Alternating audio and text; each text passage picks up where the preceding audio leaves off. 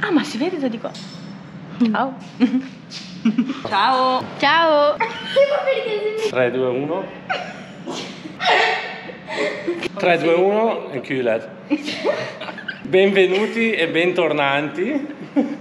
Oggi sono con Trish Ciao. e la sua Egigio rossa. Volevamo farvi vedere il progettino che ha in mente per questo piccolo catorcino rosso, che in realtà catorcino poi non è, perché in realtà la macchina è tenuta molto bene di base e adesso Trish raccontaci, racconta Trish la storia. Allora, eh, faccio la narratrice e praticamente questa macchina era di una signora di 65 anni, unica proprietaria, tenuta italiandata sempre in maniera maniacale, questa volta davvero non come gli annunci di Facebook. Quindi la macchina è tenuta molto bene per avere 250.000 km. Adesso è piena di È polvere. estremamente impolverata. Esatto, però in realtà vista c'è anche di carrozzeria così è messa bene molto bella. Quindi al momento ha il suo motore originale, questo è un EG4, quindi ha un 1500 di 15 B2, giusto? Esatto.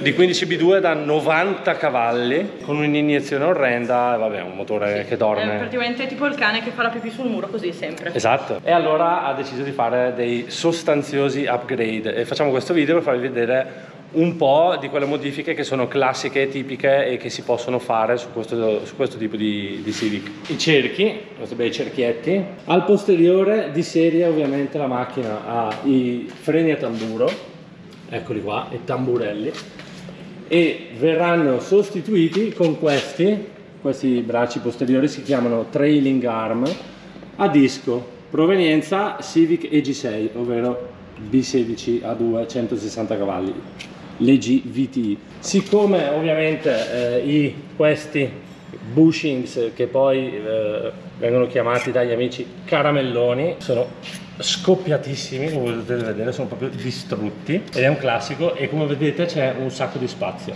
Ed è per questo che gli ho procurato quelli hard race che sono in gomma irrigidita e sono molto più pieni all'interno. Questi sono molto più resistenti degli originali e vanno benissimo per uso stradale. Qua ci vanno gli LCA posteriori oro della hard race anche loro belli devo dire molto belli molto molto belli fatti bene Super leggeri anche però. sì, molto leggeri, essendo in alluminio. Davanti quelli anteriori, che questa è una parte perché quelli EG sono divisi in due parti rispetto a quelli K che sono tutto un pezzo unico e qua vi facciamo vedere quello originale completo. Esatto. Quindi c'è questo che alla fine non ha niente, va, va inserito qua dentro, quindi si può anche mantenere originale questo, ma si va a cambiare questo che ovviamente ha tutte le boccole scoppiate e così via, va tutto storto, anche qua c'è proprio la boccola esplosa. Questi hard race, anche loro gomma rinforzata, nuova di pacca. All'anteriore invece abbiamo i freni della bicicletta,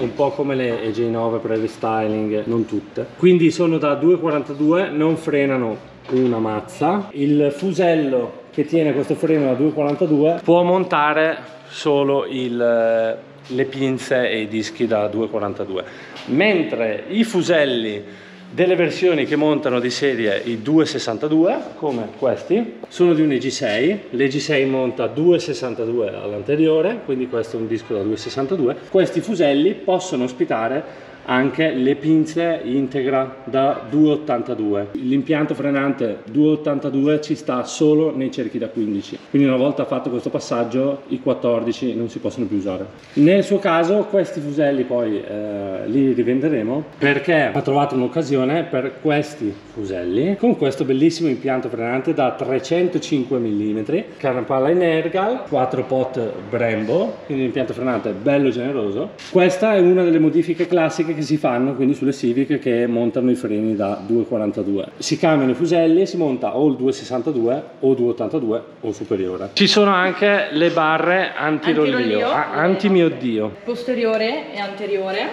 Sulle G4 normalmente non ci sono come stock, e quindi avendo preso tutta la meccanica G6 eh, andremo a mettere anche queste. ha delle biellette, tra virgolette, ha questo sistema di attacco orribile in confronto alle K, perché K è maggiore di EG, non dimentichiamolo. Questi anche vengono sostituiti e quindi gli ho fornito la versione Hard Race, anche loro rinforzati.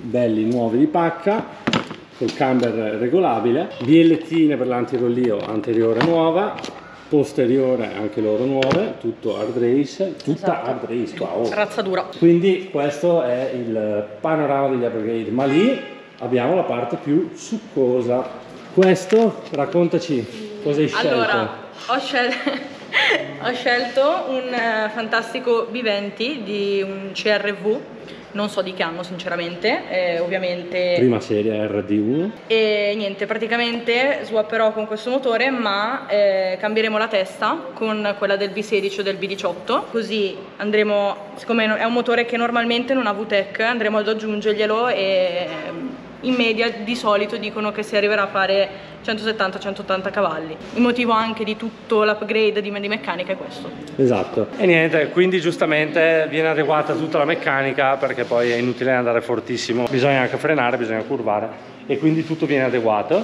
Il motore, vi faccio vedere da vicino, è un V20 Z1, cioè la versione più potente del CRV. Questo è il V20 Z. Eccolo qua, non ha il VTEC, quindi si può vedere da qua che proprio non c'è il solenoide quindi verrà cambiata la testa con la testa VTEC si fa un Frankenstein. Gli consentirà di avere un bel motore che comunque è un 2000 di cilindrata quindi avrà Tanta ciccia sotto. esatto anche un bel po' di coppia sotto so- rispetto al 1500 è una valanga. Ma con la testa VTEC potrà anche tirare bello alto e divertirsi molto anche in alto che è dove a noi ci piace. L'unica cosa saremo un po' più limitati con, con il numero di giri, che staremo un pochino più, più bassi, però Esatto, non farà- avendo tanto sotto comunque chiaramente andrà a compensare. Sì, secondo me usci- sarà molto bello da usare. Quindi la piccola Egigia sta per appropriarsi di tutto questo. Esatto. E quindi insomma questa era la presentazione del progetto per questa EG4 che poi vedremo di- Faremo altri video. Esatto, di farvi dedicati. vedere come andrà e speriamo di vedere presto come andrà effettivamente poi la macchina quando sarà tutto finito e montato. Sicuramente saranno tanti tanti tanti. È colpa sua.